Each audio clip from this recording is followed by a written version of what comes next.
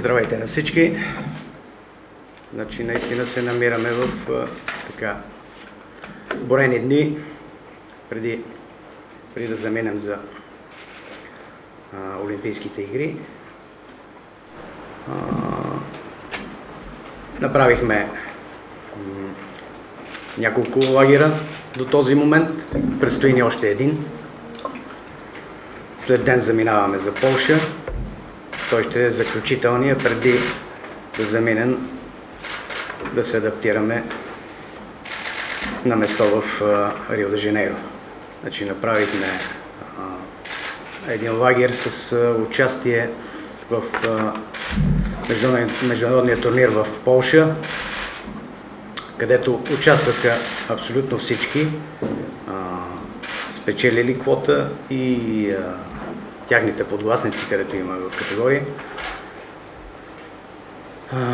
Там спечелихме два медала. След няколко дни, прибирайки се, заминахме на лагер в Дагестан. Имахме удоволствието да бъдем поканени в тази Руска република, където така считаме, че е меката на, на а, руските шампиони. И търсейки а, класни противници, там ги намерихме, въпреки че попаднахме в, а, така, в а, там свещения месец за тях а, Рамадана. Нали, но а, имахме а, партньори, 70 човека се събирахме в залата, просто а, разнообразието, което ни беше необходимо, го а, намерихме там. Участвахме не всички, няколко момчета участваха на силния турнир Али Алиев там в Махачкала. След което се прибрахме в България и отидахме в, на двуседмичен лагер в Тетевен, който буквално в събота приключихме. И сега след ден пътуваме за Полша.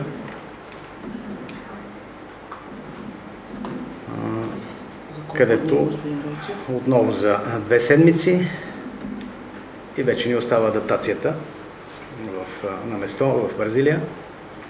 Значит, от 6 категория завоювахме три квоти. Аз на момчета казах, че кой воювал за квоти, 90% ще участват, а другите ще помагат, ако евентуално да, не дай Боже, да се получи контузия. 75 кг ще участват Данил Александров, 85 Николай Баляков, 98 световни шампион Елис Гури. След тези квоти правихме 4 лагера до момента с националния отбор Армения 20 дена. След това Полша, много отбори дойдоха. След това правихме Тетевен, после Унгария, Татабана и сега сме Самоков, последен лагер. Момчета са здрави, работахме индивидуално на грешките, на партер, стойка, имаше много партньори. Господин Горанов, откъде може да дойде изненадата? Защото винаги има отпаднали фаворити и състезатели, които поднасят изненади. Говоря за нашите представители. А, имаме няколко наистина млади, обещаващи спортисти и се надявам да имаме приятни изненади. Към момента не искам да, да споменавам спортове и въобще конкретни имена пък още повече, защото това също напряга и не бива да, да го правиме, да не предизвикаме дявола, но уверявам ви имаме такива. А колко според вас реално медала може да спечели България на тази Олимпиада? Ей, това вече влизаме в сферата на, на догадките не ми се ще да пророкувам каквато и цифра да кажа, ще бъде научка. Наистина ли смятахте чрез жреби да определите кой да бъде знаменосец на церемонията по откриването на Олимпийските игри в Рио? А, тези, които Защото много гледали стана много коментирана тази тема. Да, тези, които а, са така фаворитите, онези, които са се доказали. Имаме световни шампиони, имаме а, и хора, които са с, а, с медали от големи първенства. А, някои от тях участват в втората фаза на игрите и всъщност по време на откриването си още няма да са дошли. А, като един Михаил Ганев, който е световен европейски шампион. А, има пък други, които са също много изявени, като Антонета Бонева, но тя пък в следващите дни предстояха веднага след откриването стартове. А за нея е много важно да бъде спокойна и шансовете да определиме човека не бяха много големи, така че ако и Ивет беше отказала, тук нататък всички останали вече бяха сравнително равностойни. А, между другото, да се определи а, чрез жреби а, беше по-скоро казано ако не успеем да стигнем до точния човек. Иначе... А други а, олимпийски комитети използват ли този вариант за определенето? Да, да имало, имало е такива. Там, където няма и толкова изявени, а, се ползва. И, има и такива, които имат изявени, но пък а, по една или друга причина не искат да, да, да носят флага. В крайна сметка всеки се цели в, в старта, в представянето. Вярно, това е голяма чест, но пък съгласете се, когато преследваш олимпийската титла, слагаш нещата на кантар и преценяваш кое е по-важно за теб. Да, може би затова и Антонета Бонева сподели, че по всяка вероятност няма да присъства на церемонията по откриването, да. защото все пак трябва да се концентрира да. за това, което и предстои. Бяхме останали с млади спортисти, само трябваше по този начин да процедирам. Как прие Ветлалова новината, че ще носи флага на делегацията ни и кой съобщи? А, Добромир Карамаринов, но с голяма радост. Като нещо, което е, е чакало. За кого най-много съжалявате, че няма да представлява страната ни в Рио? Е, има няколко от нашите спортисти, които бяха много близо до, до квотите и не успяха да стигнат до тях. Ако трябва да, да ги градирам, може би на първо място за Иво Ангел в борбата. Ако не се беше случило с него това неприятност, Иво ще да бъде със сигурност един от фаворитите за медал. Разбира се, волейболния отбор. Няма как да не, да не каже, че съм че съжалявам. Видяхме какво направиха преди 4 години в Лондон. Да, в плуването също. Там бяхме момчета с бен норматив и всъщност мал шанс да им попречи да, да продължат и да стигнат до, до Рим. Страхувате ли се от допинг скандал, в който да са намесени и наши спортисти? След всичко това, което се случи, а, силно се надявам, че всички са си направили полуката и че подобно нещо няма да, Застраховани ли сме? Застраховани няма. Добре, защо допинга се оказа такъв бич за съвременния спорт? Защо? Защото с помощта на непозволени средства могат да бъдат постигнати много високи резултати и че всъщност това е една надпревара, която вече десетилетия напред върви, а, наред върви, победителя все още не е ясен от, от тази надпревара, но губещите са спортистите. А и като ли, цяло спорта. Да. А знаете ли, че се говори, че са забранени медикаменти се хващат определени спортисти, докато други, за които има съмнения, изобщо не се проверяват? Или се крият техните проби? Не. Е, мисля, че последните години а и, и назад, ако се върнем във времето, ще видим, че не е точно така. Проверяват се почти всички, особено пък изявените. А, без значение от а, дали са от Русия, Америка или друга да е. Има хванати и от, и от Русия, има хванати от Америка. Вие знаете по-добре от мен. Сещате ли се най-големите имена в американската лека атлетика – едни от големите имена от американската лека атлетика бяха, бяха уличени в употреба на забранени препарати и вещества. Правилно ли бе решението на МОК за руските спортисти, които няма да участват Трудно соломоновско решение, мога това да кажа. Прехвърлиха всичко на федерациите. Да. така и трябва. Така и трябва. Крайна сметка, а, федерациите са тези, които първи утвърждават а, унези спортисти и те определят критериите, по които а, да състезават спортистите от съответния спорт на Олимпийските игри. Добре, откъде дой- дойде този проблем с руските спортисти? Много казват, че има привкус на полити... политически игри. На мен, на мен също ми се струва, че е така. А, бяха изнесени много, много факти. А, няма време всички те да бъдат проверявани. А, някои от тях обаче се оказаха, че са, че са верни. Ако се продължи в, а, с разследването, със сигурност ще има такова. А, много от тях вероятно пък ще отпаднат. Истината е може би някъде по средата. Какво губи Олимпиадата от а, отсъствието на руските състезатели? Предвид най-вече в леката атлетика. Конкуренцията. Конкурен- Конкуренцията няма да бъде същата.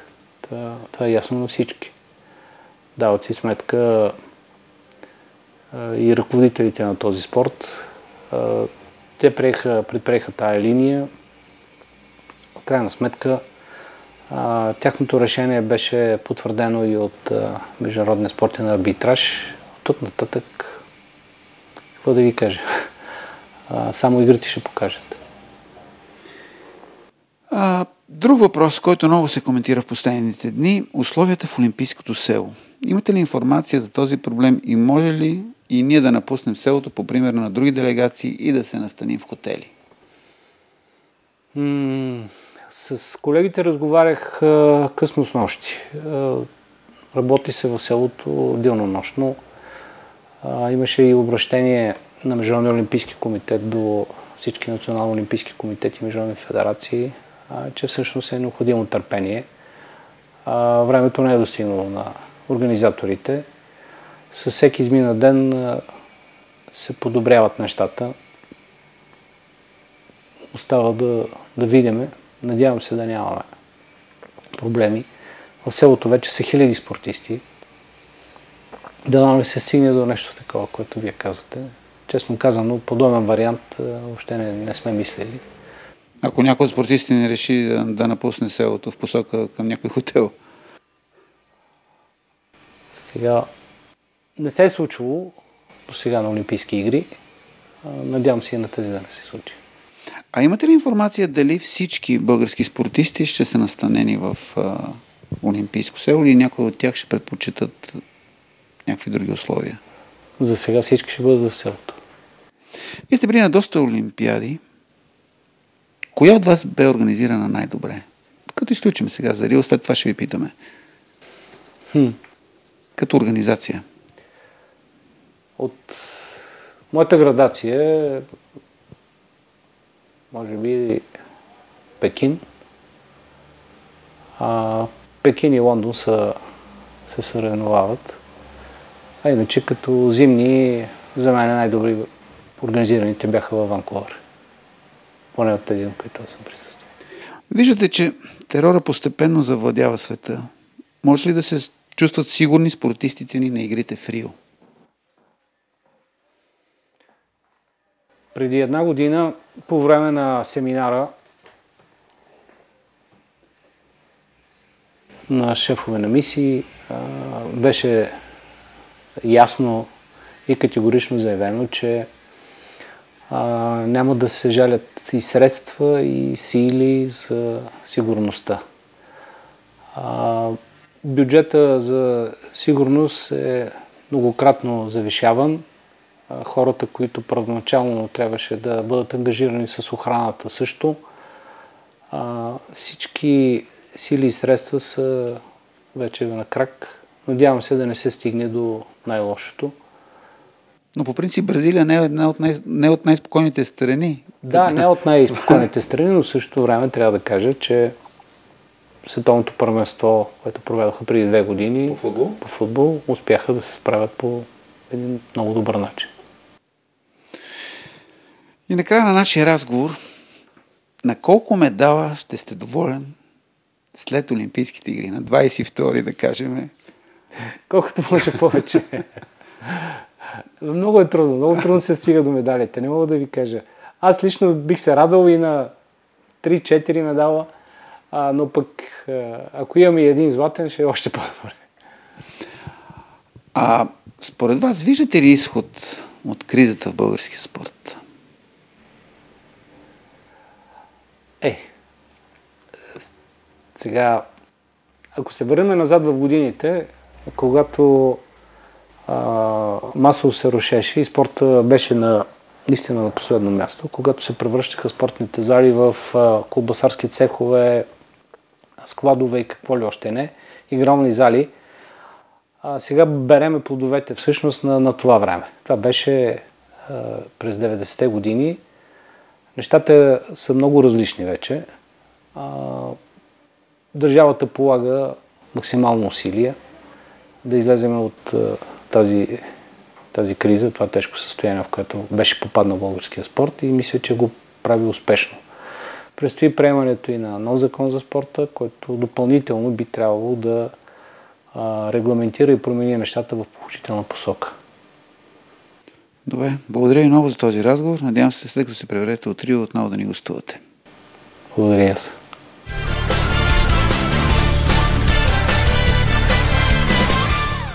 След разговора с генералния секретар на Българския олимпийски комитет Белчо Горанов, оставаме на олимпийска вълна.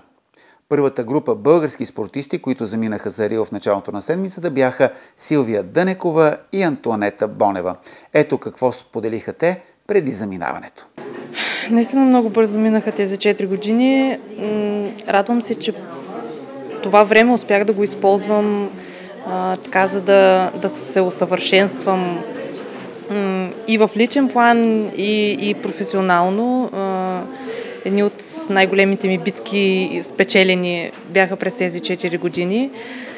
И не знам, чувствата са много смесени.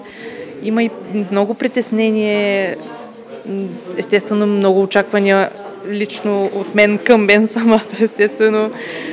Няма как и от хората нали, да, да, да няма, но пак казвам, моля се само да имам късмет, да успея да, да се запазя психически за, за двата старта и дай Боже да, да, да вляза на двата финала. Мисля, че имам достатъчно време. Ние нарочно тръгнахме една седмица по-рано, защото аз в търговище, стърбището, на което тренираме, е закрито. А там на малокалиберното оръжие ще стрелям на открито. И поради тази причина преценихме, че е по-добре да отидем да стреляме на условията, на които реално ще се а, проведе състезанието. Надежда винаги има. Но радвам се, че, че хората разчитат на мен и, и има надежди към мен. Но аз много пъти съм казвала, че това както, както е радост, така и голяма отговорност и тежи много настроението след една такова, след такова изпращане и след едно пакетче, което просто ти пожелава успех, което е много мило от страна на Министерството на вътрешните работи, за което много благодаря. Настроението го има. Очаквания, очакванията е да успеем да реализираме това, което сме, да сме изтренирали. Тоест чудеса не чакам да се случат. А, трябва всеки да успее да направи това, което е в краката му, в ръцете му, във възможностите му, разбира се. Физически психически мисля, че имам още известно време да поработя върху това, защото все пак ни чака една климатизация там. Имаме още около 17 дена, които не са никак малко и в същото време не са и, не са и много. Но да, искам, искам вече да дойде тази битка и, и да, да успея да се преборя. Преди всичко за себе си. За радост мога да кажа, че това не са ми на мене първите Олимпийски игри, това са ми вторите и мисля, че трябва да се представя много, много по-добре, отколкото първите, защото първите минаха, минаха без да разбера. Всъщност беше една много голяма емоция. А сега тези Олимпийски игри за мен е най-важното състояние в годината, което трябва да направя.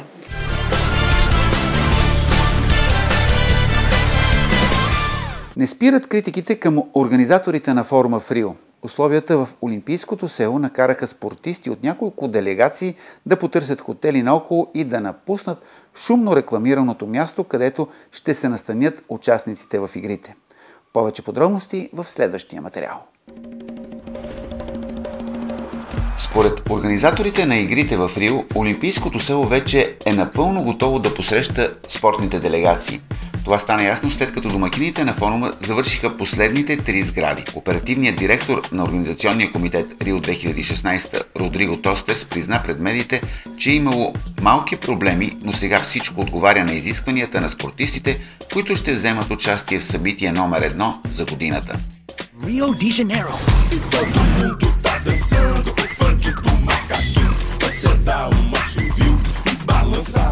Заради проблеми с електричеството и канализацията, няколко олимпийски делегации отказаха да се нанесат по-рано през седмицата, а други напуснаха и предпочетоха хотелския уют пред неуредиците в Олимпийското село.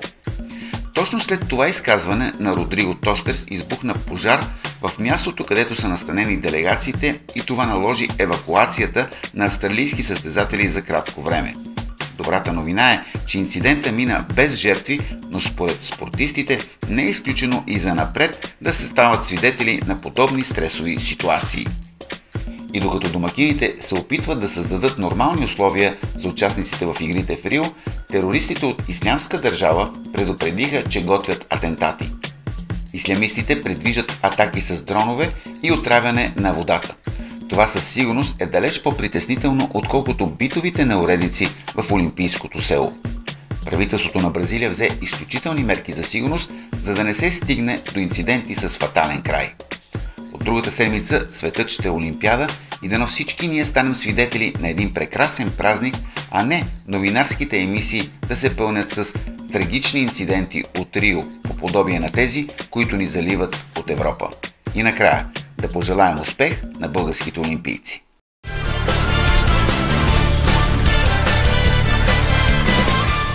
Уважаеми зрители, предаването ни завърши. Ще се видим отново следващата неделя, точно в 19 часа. Благодаря ви, че бяхме заедно.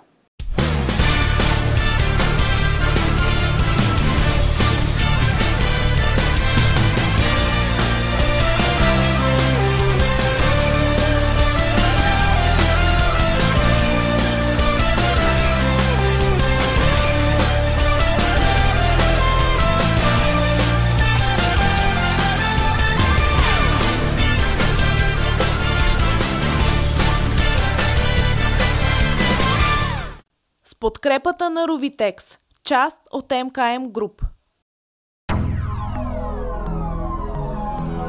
В предаването има продуктово позициониране.